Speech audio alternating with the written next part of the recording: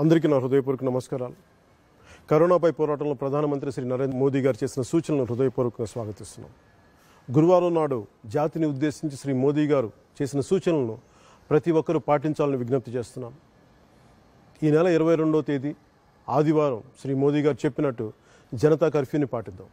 ఆ రోజు ఉదయం ఏడు గంటల నుంచి రాత్రి తొమ్మిది గంటల వరకు మన ఇళ్ళకే పరిమితం అవుతాం కరోనా మహమ్మారి నిర్మూలించడానికి కానీ ప్రమాదం అని తెలిసినప్పటికీ క్షేత్రస్థాయిలో పనిచేస్తున్న డాక్టర్స్ నర్సులు పారామెడికల్ సిబ్బంది వైద్య ఆరోగ్య సిబ్బంది మీడియా వారు పోలీసులు అటు పారిశుద్ధ్య కార్మికులు ఇలా ప్రతి ఒక్కరికి మనసులోనే కృతజ్ఞతలు తెలుపుతూ మన ప్రధానమంత్రి గారు చెప్పినట్టుగా ఆదివారం సాయంత్రం ఐదు గంటలకి మన ఇళ్ళ బాల్కనీలు నిలబడి గడప బయటికి వచ్చి ప్రతి ఒక్కరు కరతాళ ధ్వనుల ద్వారా కానీ ఏదైనా మీకు నాదం చేసి మనం వారికి సంఘీభావం తెలుపుతాం.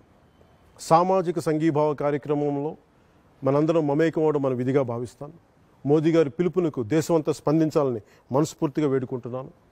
అలాగే చి- తెలుగు చిత్ర పరిశ్రమ కూడా దీనికి సంఘీభావం ప్రకటించాలి. ప్రతి ఒక్క హీరోలు హీరోయిన్లు నటి నటులు నటీమణులు ప్రతి ఒక్కరు ఇరవై నాలుగు క్రాఫ్ట్కి సంబంధించిన తెలుగు చిత్ర పరిశ్రమ ప్రతి ఒక్కరు కూడా దీంట్లో విధిగా పాల్గొనవలసిందిగా ప్రార్థిస్తున్నాను ప్రధాని మాట పాటిద్దాం. కరోనా విముక్త భారతాన్ని సాధిద్దాం.